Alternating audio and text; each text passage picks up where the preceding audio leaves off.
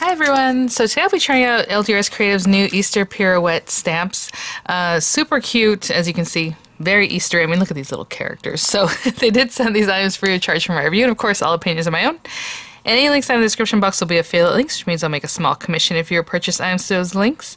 So, um, I'll be focusing on the stamp set today. I will use the die set. There is a separate die set that you can pick up that coordinates back. Of course, this is uh, designed to go with the pirouette system, which I have, and I'll show you in just a minute. But um, you can just stamp these and cut them out and use them in all kinds of decorative ways. Really, really cute, to really sweet, and make your own little backgrounds or however. But I love that each little egg has a layer, and I'm assuming they go uh, together in that way, like. Um, this egg, right? This little guy has a stamp near him that looks very much the same size. These two, these two, these two, these guys, and these guys. And I mean, I don't know, maybe we can mix and match them, but some of them have slightly different shape, so I'm assuming that's how they go together. Um, we have, again, photopolymer stamps. So really great material. Hope your Easter is extra special. Happy Easter, sending you Easter wishes. And in the die set, you can cut out all those sentiments, which we'll do today. But for right now, I was like, oh, do I want to make a whole background? That'd be really sweet. Maybe I'll follow up with that. Or um, just like a pirouette style. You know, what, what is it that I want to do? So um, I am going to make a standard A2 size card because that's my preference. So I do have a piece of paper here that is cut already to four by five and a quarter because um, I want it to be either matting or at least uh, a little bit smaller than just your standard uh, card front. But you can also do, and the reason I'm coming with these numbers is that you can also do the sizing that's on here. So we have four and a quarter. I'm doing four. Um, and then you can kind of mess around with this. Honestly, once you get it down, you can kind of do your own thing. If you want to do like a five by seven, what I would do is use the same circle, but maybe put them towards the outside. I don't know how to explain that. But you can kind of play with this a little bit. And um, do your own kind of thing. Now, this is the original set that I had picked up through HSN. And so I just keep it all together, but basically we're going to use this guy here. And then the templates, again, mine's all sticky because I leave stuff stuck on them from the last time I used them, but uh, I'm going to use this side. If you want to do the background where you're just going to fill everything in, all you do is use this side and you put several little stamps stamp in the four areas, you know, as you turn uh, the paper or however you want to do it. And then um, take those off, you know, fill in these four areas, fill in these areas, fill in these areas, and keep stamping, and you have a whole background. Um, I have several videos on using these guys. So let me think about what I'm gonna do. I'm gonna get some inks and I'll be right back. Sorry about that. Um, so yeah, I was just taking a moment to think about what I want to do and I think I'm gonna use the spiral because I don't think we've ever done that. And you know, we'll try it out, see how that works. And generally what I do with this thing is I put a little repositionable adhesive on the back of it. I just take some of that. There's still some on there from the last time I used it. And what I'm gonna do is possibly just center this guy. Is that the four inch mark? Yep. You don't have to, I'm just being a little extra special right now here with this. And there and there. You know, just putting it right down in the center. You don't have to do anything like that. And the reason I'm using this is because um, my paper is not just a square, which is normally what we do when we stamp with it. You want, you know, a four and a quarter inch square, four inch square, three and a half inch, three inch, two and a half. So you want to follow along with those. I'm also going to put a little sticky on here just for a moment. Um, and so we're going to take our little spiral guy. I know, I'm sorry about the ring light. It's just, it's, it's going to be like that. so at first, we're just going to line this up. And what you're going to do with this guy is plan out what you want, and then we're going to remove the ones that we want, like different colors or however. But for now, let me put this thing somewhere. this big old copper. Um, we're just going to try it out. So it's slightly different from the ring look. I don't know how to explain that. Let me see if we can see here. So hopefully you can see like with this spiral, it's kind of going like out like this. And where this one's more of a circular, even though it is circular, it's just not the same as one after the other like this, you know, it's kind of layered up a little bit differently. So we got to think about that and how it is that you want to lay this out. Uh, a lot of the middle is probably going to be covered up because, oh, we have a sprig. Um, it is going a different direction though than I was thinking, but that's pretty cool. I think I'm going to start off with like this little flower right down here. And I'm facing the stamps down. What I'm going to do is design it on one of these lines. See how we have these pretty different colored lines. Basically, you're just going to go along that. So do you want it right in the center? I'm going to bring mine out just a little bit. I'm kind of following that shape, right? And it can be within here. It doesn't have to be exactly going that direction. You can face things the way you want them to. So we have that little guy. I definitely want an egg. I'm trying to see what shape or what style Like Look, the little guys are so cute. So if I had a little egg on there, also kind of going this way. Again. And then, so as you can see, I have two things. I need a third thing there probably. And what do we have? It does take about quite a bit of space, that one egg. I might switch it out for a smaller egg. And I did just a little flower, hmm, maybe we'll go for a smaller egg just to not take up so much space for this particular design. So let's go with um,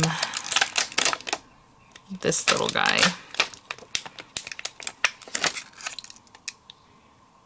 Oh my goodness.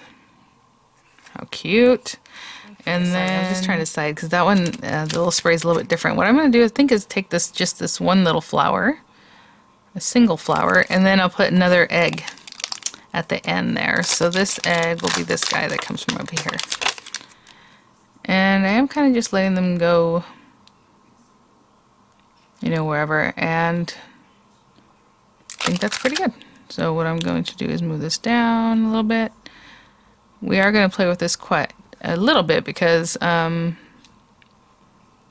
of the colors I'm going to choose to use, right? They're going to be a little bit different. So whenever I come back, I might have to change that up a little bit, and that's fine.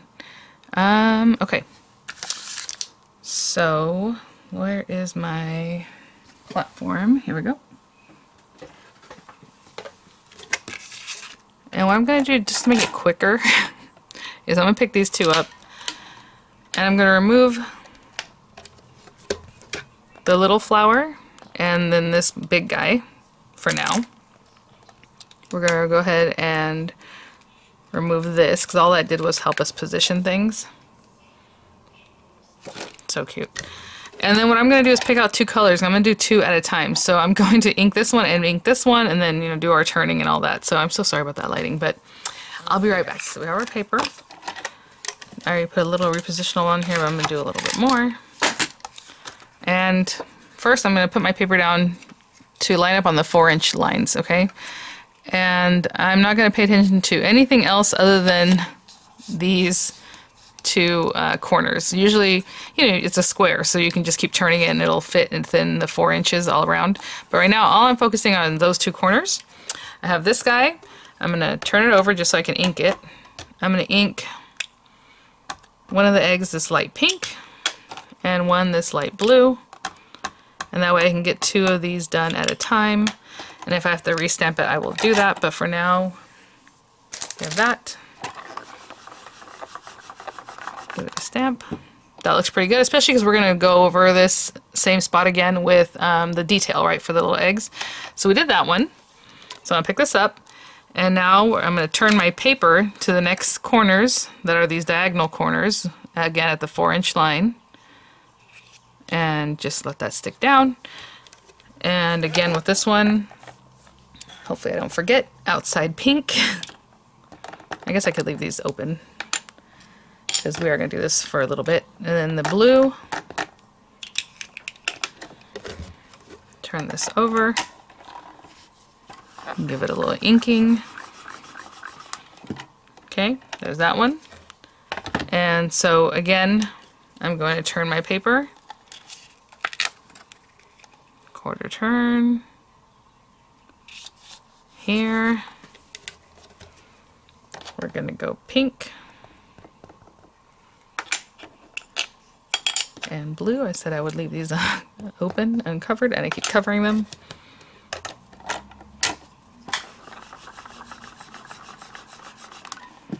Okay. Quarter turn. Sorry, it's not really a quarter turn. I guess it's like an eighth of a turn, huh? And anyway, so if you forget you go a whole quarter turn, sorry I said quarter turn earlier, it's really not because you're doing every eighth, right? Um, let's put that back there. You'll notice, and then you can just go back and repeat it, because or, or actually do it if you skipped it. You will definitely notice there'll be a gap. Sorry if you guys can't see that. I'm just inking it up over here. And part of my little swirl is going to go off the page because of the way I'm doing this, but that's okay. Um, okay, next one.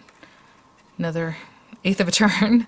So I'm going to keep doing that and hitting every diagonal and regular, you know, turn, and I'll be right back. Back to the last one, which would be one of the diagonal turns.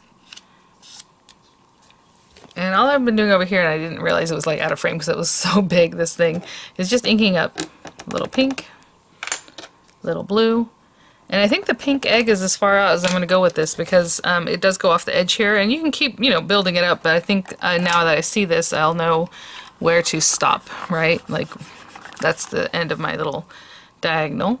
Okay, and that's everything. Now, I can start back at the beginning and I'm going to go ahead and finish up my little eggs before I move on to something else. And what I mean by that is I'm going to pick out the the little companion egg that goes with these guys. So uh, let me clean up the ones that I have on my um, plate and I'll so be right for back. the blue egg, it's this one. Again, I don't know if they're exactly the same. Maybe you can mix and match them, but I'm gonna take a real close look and make sure I'm putting that right where it needs to be. And then for our little pink egg, it's this little floral. I'm going to bring this closer to my face so I can make sure that I'm right where I want these to be and then we'll pick them up, okay? okay? So those look pretty good. Now we're not even talking about the pirouette or anything right now. All I'm trying to do is add the little design to our eggs and that looked great. So I'm going to pick out a darker blue or you know what? We can do some fun things. Let's go... I'm going to go purple with the pink one. I just want a nice deep purple. Purple. And maybe with the blue one, we can go... Okay, I just chose this other kind of a deeper blue. So the blue will still have blue, and then the pink one will have like this purple. And all I'm going to do is go around. I know, I'm sorry guys about the lighting. So I'm going to turn this over. And on the little one that has to do with the pink guy, we're going to do purple. And I guess I could leave that open again just to make it quicker. And this one I'll do with the darker blue. And again, I'm just going to go around, same thing, um, just making sure, you know, we're in the right spot there, just about. Look at that. so cute. Um, and again, I'm just going to switch over to the next um, area. kind of give it a look down, you know, the barrel here, just to make sure it's still pretty well lined up and just keep going, okay? I'm going to keep inking and going. It's closer to me, of course, I would like to see what I'm doing, so a little closer to me, and there that is, with a little detail and everything. How cute. I'm going to clean off um, all the stamps, and then we'll continue with the, um, the design. So what we're going to do is finish up with our design, and you can bring this back on here, but now you kind of see what it's doing. You can just, you know, go back to whatever the design was that you wanted. Um, I think what I'm going to do is fill up these spaces with something different. So I'm still going to use that little flower sprig that we had seen earlier. And I think I want to put it like right here. Right? Just kind of from one to the other. And then I'm going to take a little bow instead, that bow, and put it right at the base of my little, um, my little egg here. I think that'll be really sweet. So they might make contact, but we'll see. I'm going to put that right there. And let me just get this under my face so I can see if that's where I want it. Pretty much.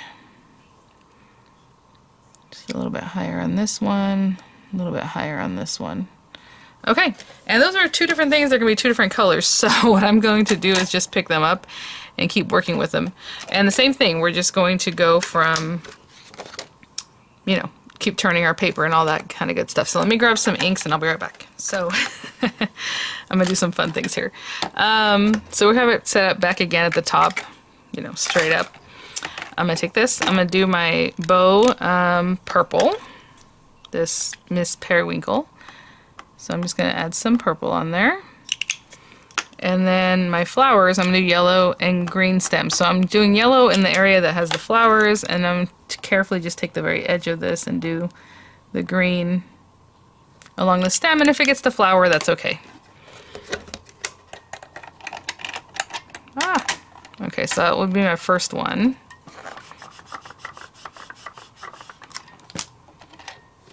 Aww, So cute. I didn't know that the green was going to have like the little outline.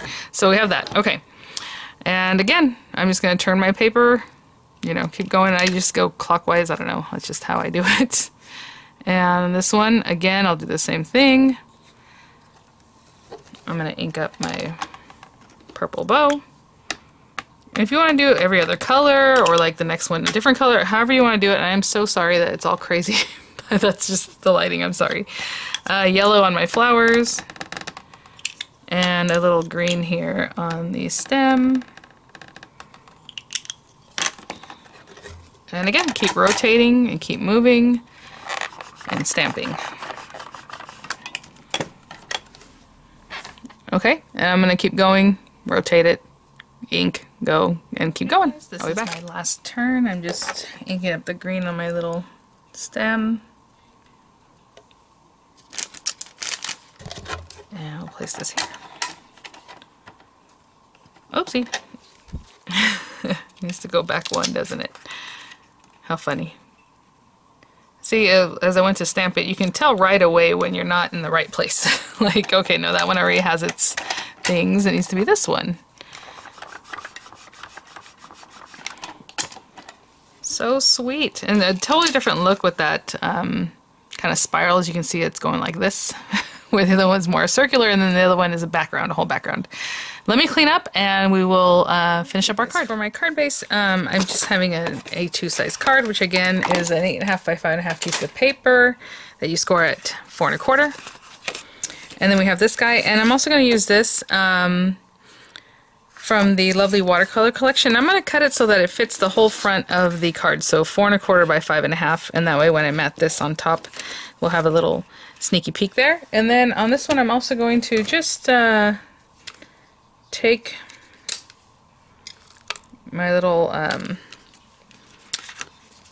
We Are Memory Keepers corner chomper. I'm just going to take a little bit out of that just to add a little something else to our card base, okay? But I'll be right back. And I'm actually going to use the opposite side of this, so it has a larger print on this, much smaller on this side. And so what I like about that is that since we are just leaving a little bit showing, it's nice to have that small print so you can see more of like little bubbles, um, little design there. And so I'm just going to um, glue this down. I wanted to see if this glue had been opened yet. Sorry. so I'm just going to take this and glue it right on top. So complete cover up the card front and then I'll just glue this one down on top of that. And I'm gluing it down flat if you Sorry, want. Yeah, I'm just gluing mine down completely. If you want it to pop up a little more like a plaque, you know, or like a topper. And of course you put dimensionals on it and go from there. Ooh, maybe a little ribbon, a little bow. That'd be cute. Okay. So I'll pop that on here and then I'll pop this one on top. Okay, so we have our card base here. So sweet, super Eastery. Um, and then I'm going to just stamp a couple things. I want our little chickies, I think they're going to be adorable to help us adorn our little cards. So I'm going to stamp this little guy and this little guy.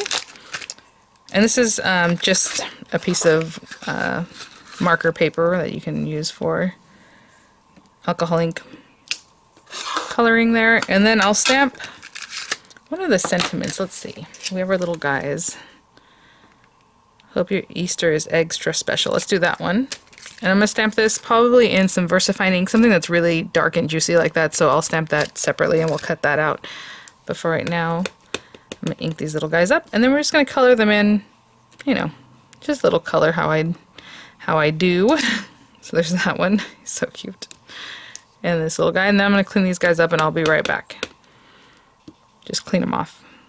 So they have ink on them. And that gives uh, the hybrid ink time to dry because you don't want to go right in with your alcohol ink markers. You always want to give it time to dry. Okay, I'll be back. Hey guys, we have our card base. We have our sweet little items here. And I'm just going to color these guys in. I am mixing yellow and orange and we'll see how that goes. So lemon drops is this first color. I'm going to use a very light yellow. And let me see if I can get I like to put a mat or something underneath because you're supposed to color so much that it goes all the way through. So I always like to keep something behind there. So I'm going to start off with this very light yellow for our little guy. And maybe leave that center area kind of open so he looks a little bit round when we're done. And then I go with my darkest color. Now I'm mixing this, you know, just, I don't know. this is what I wanted to do. So this is called Fruit Punch, even though the name sounds more pink, it's a little bit coral. I'm just going to use that as my deeper color here and there. And then I'm going to go into the uh, medium color, which is Bright Sunflower, at least with these markers it is. And blend a little bit of that out. And then I'm going to go back through. So this is just really fun, just kind of playful coloring. I'll probably do the little wings, the darkest colors. And now I am going to go through and mix everything through, and even that center area that I didn't do initially. And since I didn't do that, since there's no color there, it just looks more like rounded in that area. Do something similar over here, and I'll be back.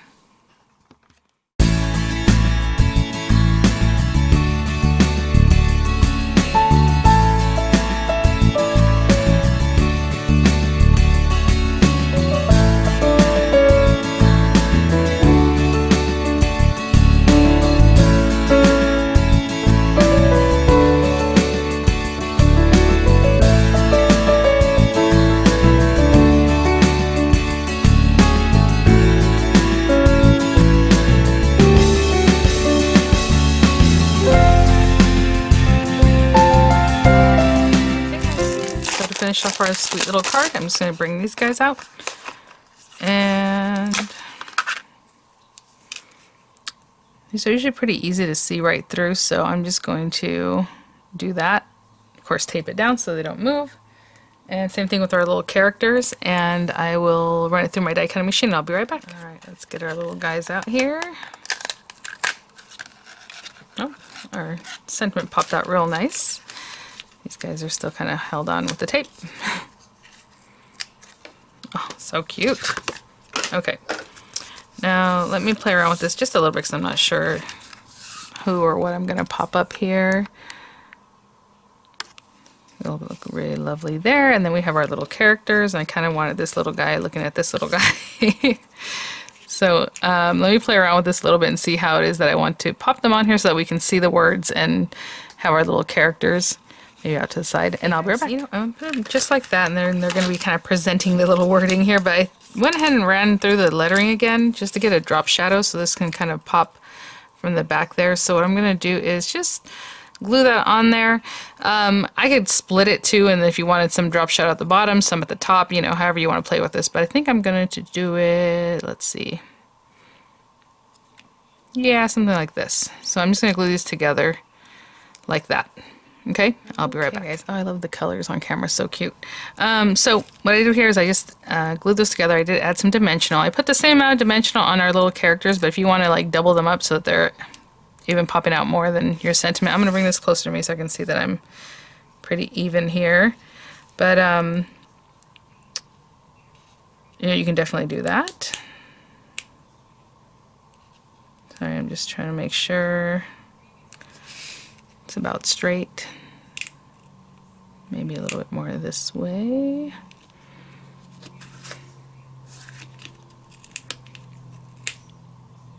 Okay, and then our little guys. And pop this little guy like here. And this little guy over here.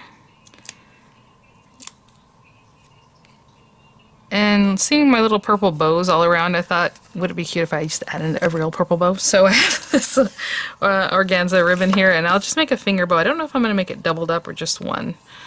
Let me see. So again, finger bows, they go in front of these two fingers. And now you can do four if you wanted a really big, you know, like big loops. You can definitely pretend like these are two fingers together and go like this. That's a much bigger bow than I normally do.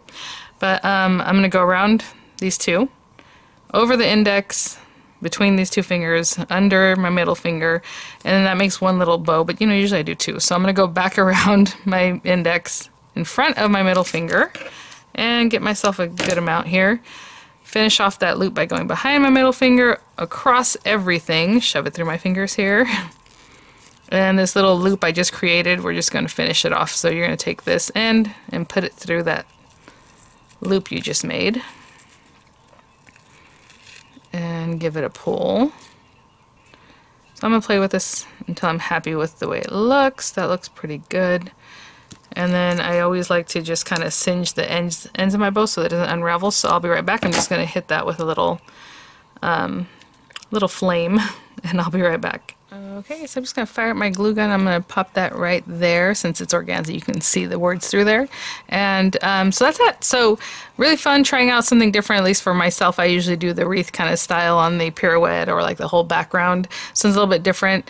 Um, you know, I went and did my little decorations all at the same time. I pretty much hit them all but if you are afraid that you're going to be off at any point because you know you are kind of going back over what you already did, um, you can just do it one at a time. You know, with like a smaller block and just doop, doop, doop, add your little decoration to them. Um, I just did it all in one fell swoop. So, all right, guys, thanks for watching. Thank you so much, LDRS Creative, for sending these items for review. So I'll heat up my glue gun, stick that down right there. I'll have some images for you guys. I'll have the links coming up uh, in the description box, should I say. And I'll see you guys at the next one. Bye now.